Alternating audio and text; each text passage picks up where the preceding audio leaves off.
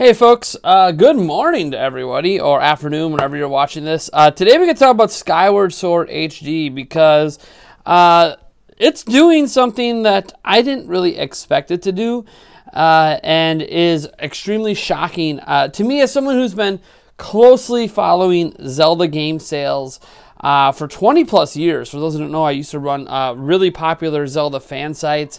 Uh, you guys might know places like Zelda Universe, Zelda Dungeon. I've worked at those places. I also ran a place called Zelda Informer that was the biggest website for a little while there. Uh, so yeah, I, I've been deeply involved in covering Zelda for a majority of my life. And let's just say I'm shocked at what this game is doing on Switch.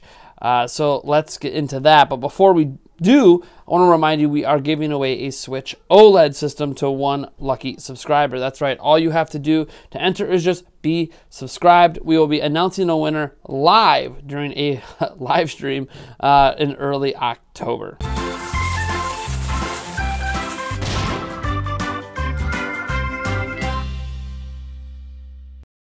All right, so to start off this story, um, we're going to uh, first just take a look at Amazon sales charts because while Amazon is not the be all end all, it's just one retailer. There's a few things that you should know about Amazon when it comes to video game sales. One, it's the number one video game retailer on the internet. So it doesn't matter if you have GameSpot, Best Buy, or GameStop, Best Buy, Target, Walmart. It doesn't really matter where you prefer to buy your games from because more people prefer to buy them off Amazon than they do any other retailer in the world. And this is not just in the US, this is literally worldwide. Amazon ranks as the number one retailer for video games worldwide. So that's number one. It's a great barometer. When, you, when you're talking about the number one retailer in the world, it's a great barometer to see if it's performing well here, it's likely performing well at other retailers too.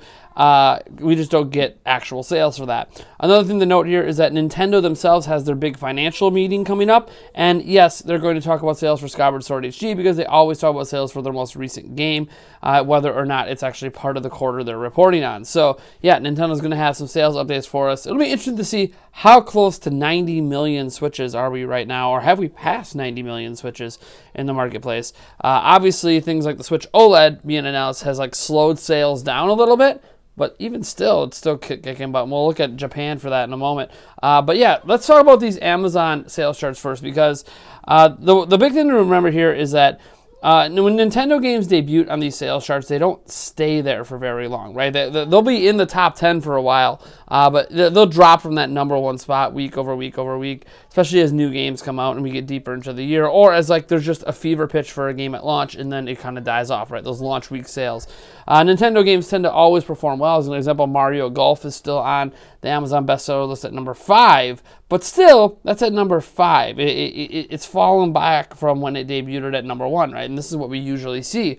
Well, that's not happening with Skyward Sword. So on Amazon's hot new releases, it is still sitting at number one for two consecutive weeks. So yeah, launch week, cool. But also the week after launch, when sales usually dip, okay now that's interesting also what's interesting is that you know people always were, were complaining about skyward sword hd being sold at $59.99 amazon's selling it for $49.94 uh, I don't know if they just price match the original release, if they're just price matching Walmart, who releases basically every game at $10 cheaper if you go in store.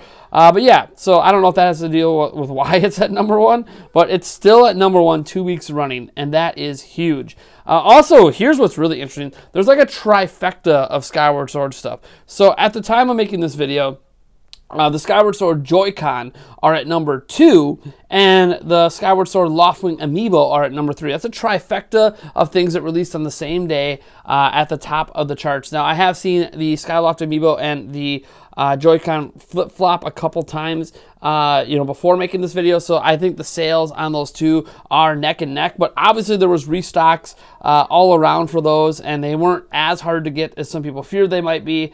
Uh, and even now, you know, if you want to buy secondhand market on the Joy-Con, you're only going to pay what $24 more, which isn't insane, at least on Amazon. Uh, but that price is probably going to keep coming down because it seems that Nintendo's trying to restock these things, uh, at least probably at least through the holidays. I would assume assume, because I think they have a feeling this is their Zelda game this year. It might continue to sell well into the holidays, uh, especially after Switch OLED comes out, because I, I think Nintendo is well aware there are plenty of people holding off that don't own a Switch right now, holding off on buying one until that OLED model comes, because the the pre-orders were so staggered at so many of the different retailers really wasn't that hard. And i've heard in some countries it's not even sold out. Now a lot of retailers here in the us are sold out but not worldwide. There's some countries you can still readily walk into a store and get a pre-order in for switch oled for day one now, uh, that's not the only thing that's interesting for Skyward Sword sales, because the Famitsu charts, which have been updated a couple times since uh, their original posting last week Thursday, uh, they've, they've had two updates here, at least at uh, Gematsu.com, uh, has Skyward Sword again at number one for two consecutive weeks, which didn't happen last time around. When Skyward Sword released on the Wii, it debuted at number one and then fell to number three in the week two.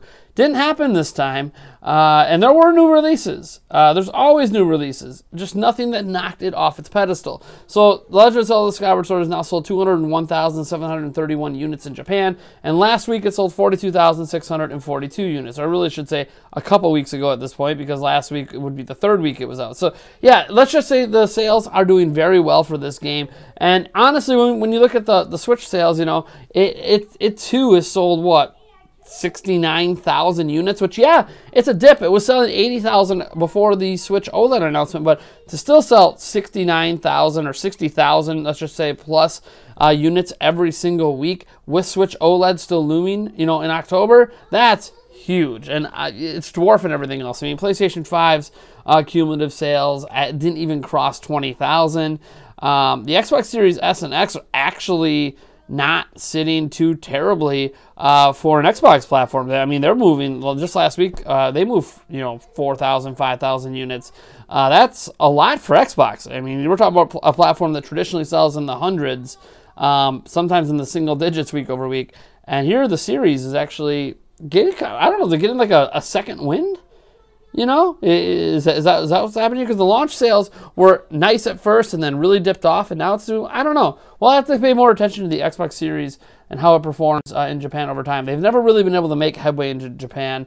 I think the 360 was the best, you know, best platform they've ever had in terms of sales. So we'll have to see what happens there. But yeah, Skyward Sword, this game right here, uh, is doing numbers. And I wouldn't be shocked when Nintendo unveils it if this game has sold at least two, maybe even three million. If you guys remember, it, it, barely cracked four million in sales on the Wii, which was a disappointment for Nintendo. A platform that had 100 million units only sold four. Well, they also released it after they announced the Wii U, which that was a mistake. They should have just delayed it for the Wii U, in my opinion, uh, like they did with Breath of the Wild. But besides that, there's also a lot of controversy. Some people didn't like the motion controls, and there was even some reviews of Skyward Sword HD that chastised those motion controls. So having button control options, um, tightening up some of the, the, the, beginning area so you can quickly get into the brux of the game instead of spending two, three hours in a tutorial fest. You can actually rush through that if you don't need the tutorial.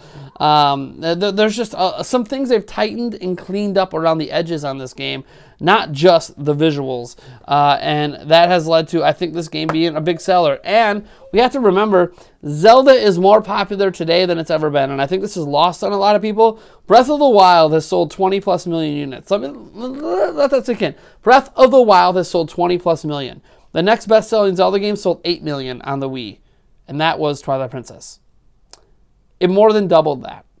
Zelda is more popular today than it's ever been, and this is another 3D Zelda game that many of the people, you know, at least 16 plus million people who bought Breath of the Wild, never played Skyward Sword. So this is almost like a new game for them. Uh, granted, you know, it, it's not going to do the kind of numbers of Breath of the Wild will. They've been very clear. Uh, thank you, Nintendo, in their marketing. This isn't Breath of the Wild. Uh, but even though because I was a little worried at the beginning of the marketing, they kept talking Breath of the Wild this, Breath of the Wild that. I get it, they were marketing the game, but as the marketing went on, they stopped with those Breath of the Wild comparisons. So thank you, Nintendo. It's almost like you watched my video and realized maybe we shouldn't be telling Breath of the Wild people that these things from Breath of the Wild came from this game because they don't really work the same as they do in this game. Maybe it wasn't a good idea to do that, uh, and it is what it is. But uh, now, I mean, God, is this game marketing Breath of the Wild 2 at this point? Falling from the sky? Hey! Now, I'm glad to see this game do well. It's consistently bouncing in and out of my top five. It's literally in my top seven Zelda games of all time. Period. I have this uh, ahead of you know juggernauts like Ocarina of Time and stuff like that. Um, I, that's how much I love Skyward Sword. It is an amazing experience. Um, I've been slow playing through uh, the actual Skyward Sword HD game. I've, I've beaten this game uh, twice. It's been a long time since I've, I've played it. Uh, and it's not that it's any less fun now, it's just I was on vacation. I mean, literally, the game came out, I played it for you guys, and then I went on vacation and I forgot my Switch because I'm an idiot. And I, as soon as I got to the airport, I was like, oh, I forgot my Switch. I was finally going to have like bunch of time to play it, and I forgot my Switch. Uh, so yeah, I haven't got a lot of time to play it. Uh, we'll probably get more into it this week. Maybe we'll even do a couple um, Q and A live streams this week where I'm playing Skyward Sword and then also answering your guys' questions because you know we could do double duty, right? Like that's a thing that can happen. I don't have to just do one any one thing during my live streams. I could double it up uh, and play some games while uh, talking to you guys, but yeah, I don't know. I'm excited about these sales. I want to know if you're excited about them as well. Uh, what do you think? Uh, do you think this game is outperforming expectations? I think we're about to find out this thing has sold, you know, two, three million. Heck, maybe it's even outsold the original game. I don't know if I want to go quite that far. I mean, it's possible it had a four plus million uh, debut, but I'm, I'm not going to go that far. But I do think uh, I, am just happy in general. In fact, I'm so happy. Scervo, come here, buddy. Come here, Scervo. You can do it. You can do it, Scervo. Yeah. Yeah, Scervo's here to get some revenge. He's going to be like, Link, you. Well, Link wins again. You bastard. Alright, folks. Thank you so much for tuning in. I am Nathaniel Robodeath from Nintendo Prime, and I better put Scervo back together before he yells at me. Alright, folks. I'll catch you guys in the next video. Come on, get. Ugh. There we go. That, that, that that's what was supposed to happen.